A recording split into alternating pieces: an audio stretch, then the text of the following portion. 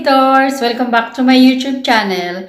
So, for today's video guys, oh. papakita ko sa inyo kung paano ko, paano ako mag-aayos ng closet.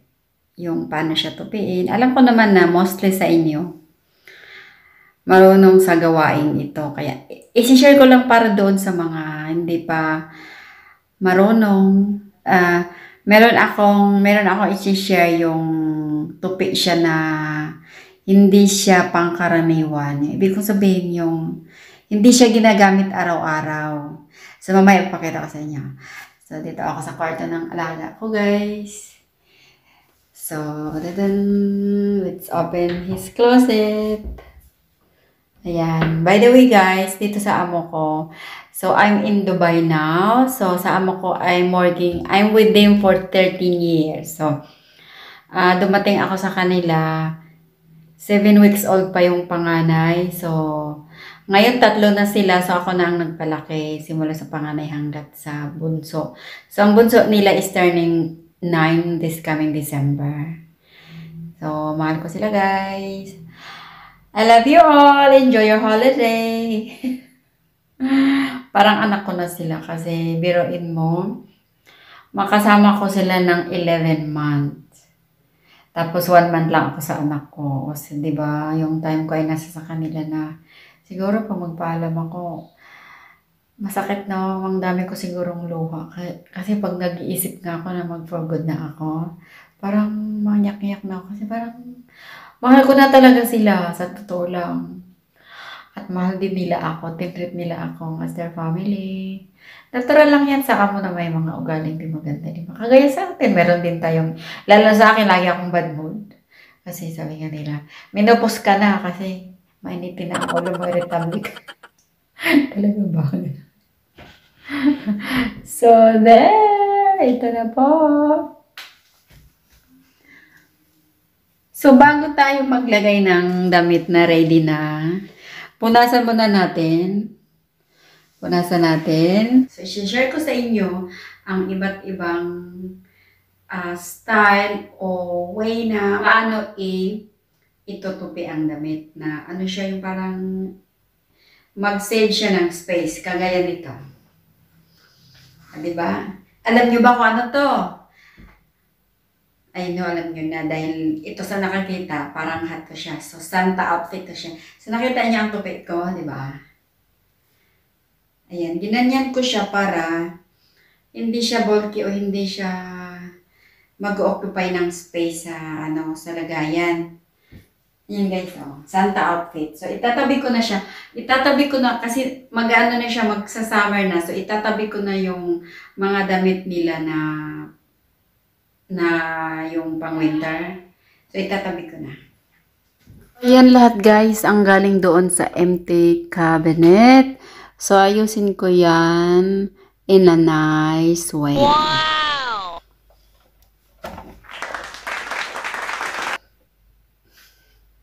So, ito yung Santa outfit, di ba? So, ganyan lang natin, guys. Ganyan. Ganyan siya. Tapos, ipasok mo yung hat niya sa ano, tungkap niya, ipasok mo. So, ganyan lang. O, diba? Well done.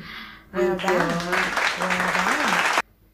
Sa kanya to, sa alaga kong pangalawa, uh, he is uh, 11 years old, turning 11 on September. At ito ang sa atin niya, maano na sa kanya, maliit na, kaya binigay niya na dito sa kapatid niya. So, ang, ang alaga ko guys is ano na siya, third, turning 13 on May. So, dalawa na yan sa kanya. So, lagay ko muna dyan. Ngayon, magfo-fold tayo ng mga trousers. So, ganito ako mag-fold guys.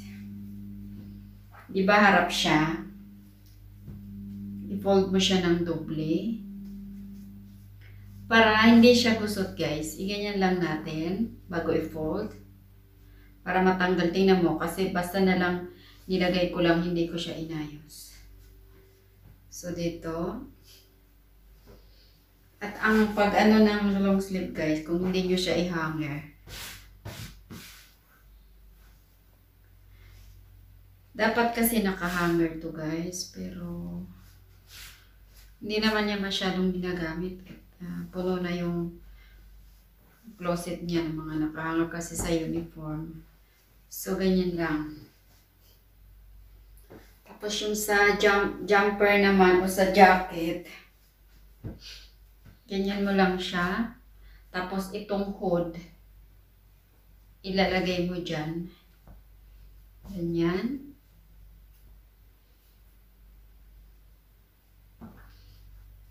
Ganyan. O, diba maganda? Itong jumper na may zipper. Ganon din siya. Yung sa my hood na walang jumper. Ang tawag dito. Kasi sa kanila, iba-iba eh. Sa atin, isa pareho lang yan lahat. Jacket o sweater. Ito sa kanila, iba.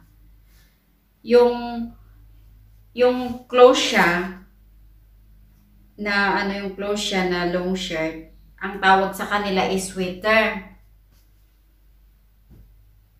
Ano ba yun? Sweater. Ang jumper, ang tawag sa kanila na jumper is yung may zipper. Ito. Jumper ang tawag ito. Tapos yung manipis naman na ano, na ganito, ang tawag is cardigan. Tama ba yun guys? Correct me if I'm wrong. Disclaimer lang po. Ganyan guys. Kasi pag hindi natin i-ganyan i-fit, hindi matatanggal yung gusot. Pangit naman sinusuot ng ng alaga natin o ng amo natin na may kusot siya.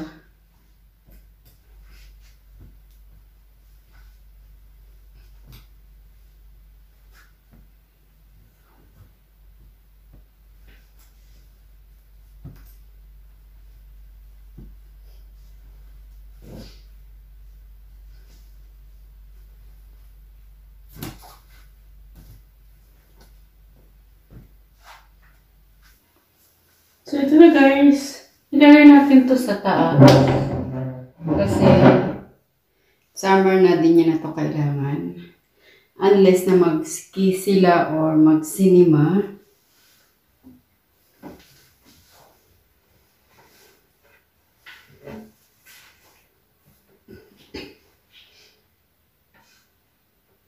So, ayan guys. Lagay natin dito.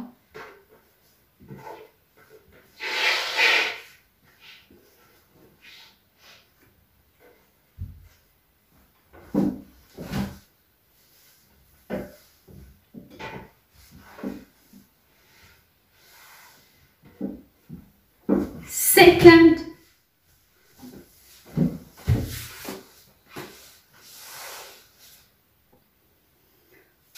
At itabi ko guys ang jogger niya sa kanyang mga jumper. Kasi taginit na, hindi na siya magagamit masyado. So, sa next tayo, next shelf. So, sa second shelves, guys, ilalagay ko yung pang sports niya. So, pinaris-paris ko na yan yung short at saka top. Para din na siya magalungkat kung saan niya hanapin yung partner ng short niya. Yan, ang sports short.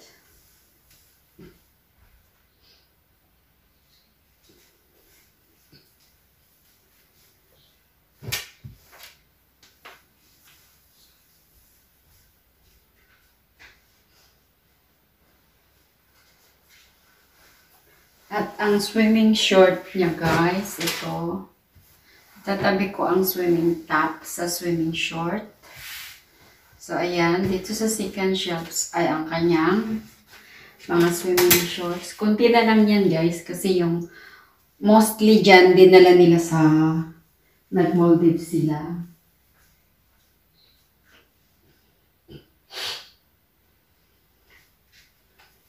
Dinala nila sa holiday yung ibang mga damit nila. So, sa first shelves, ay, sa first shelf, ay ilalagay ko yung, ano niya, yung mga, anong tawag nito? Ah, PE uniform sa school. So, ayan. Pati yung swimming, swimming outfit niya, ilalagay ko dyan. So, pinaris-paris ko na guys yung short niya sa PE uniform para din na siya maghanap kung saan niya hahanapin yung partner.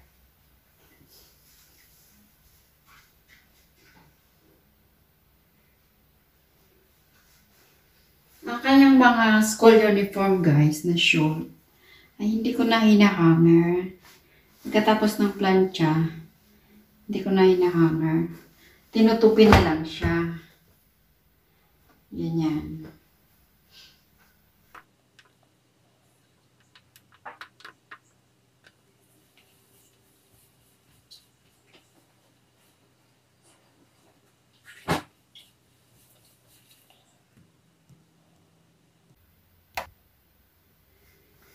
So, itong dalawang Santa outfit, guys, dahil ginagamit lang naman to tuwing December. So, dito ko siya ilalagay sa taas. Ayan.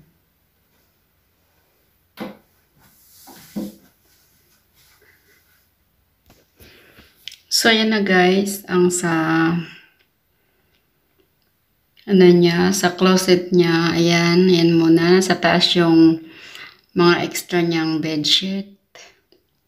Yan, jumper, mga pang winter at pang, sa baba is yung pang sports niya at swimming.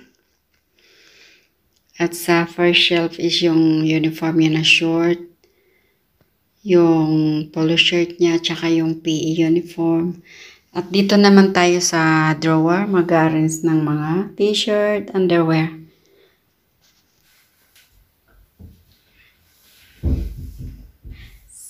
Is the neck.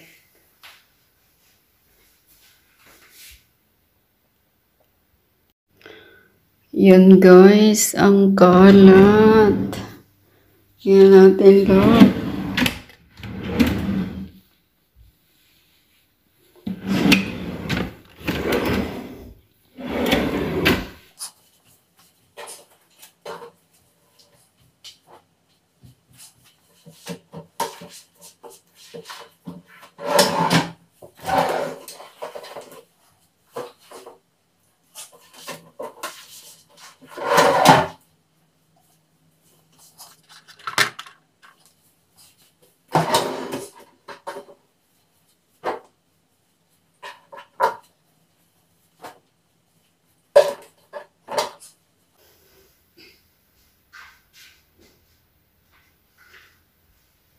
Yan guys, i-sort out natin yung damit niya. Yung maliit na sa kanya, alisin ko na. Tsaka yung mga pajama niya na pang dahil summer na, so ang pajama niya na pang winter ay tabi ko na.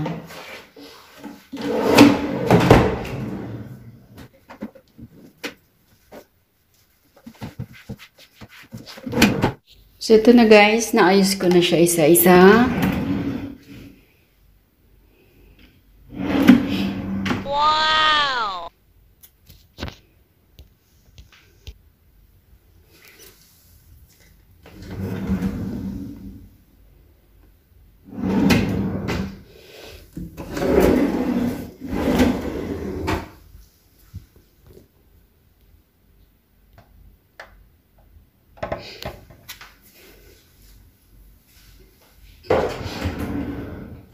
Pagbalik nila guys, puno na naman yan, naapaw pa.